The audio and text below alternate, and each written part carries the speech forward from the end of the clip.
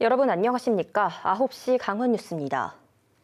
제22대 국회의원 선거 사전 투표가 강원도에서도 시작됐습니다. 첫날에만 강원도 내 유권자 133만 명 가운데 23만 명이 투표를 마쳐 평균 투표율이 17%를 넘겼습니다.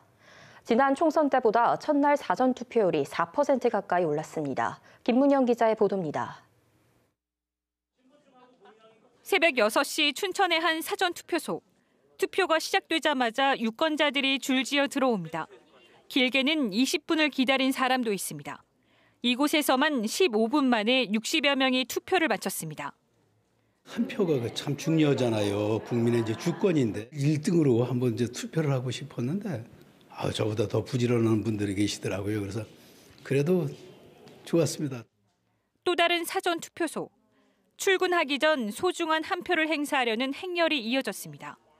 학생, 직장인, 군인 등 사는 곳, 하는 일은 다르지만 내 지역 일꾼을 내 손으로 뽑는다는 마음만은 같습니다. 춘천 지역 발전을 위해 힘써주시는 분께 투표를 했습니다. 관심이 젊으신 분도 많이 있어요. 사전 투표 첫날 강원도 내 투표소 193곳에서는 별다른 사고 없이 투표가 진행됐습니다. 신분 확인 절차를 거치면 지역구 의원, 비례대표 정당 투표지 등 투표지를 받습니다.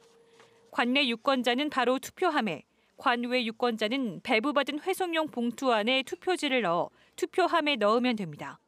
강원도의 역대 사전 투표율은 계속 올라가는 추세로 2년 전 대선 당시 38.42%를 기록했습니다. 투표소 보안 관리와 불법 행위에 대한 단속은 강화됩니다.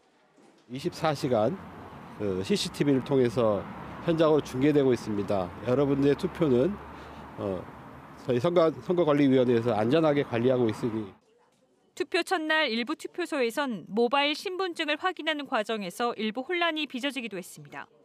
이번 사전 투표는 내일 오후 6시까지 진행됩니다. KBS 뉴스 김문영입니다.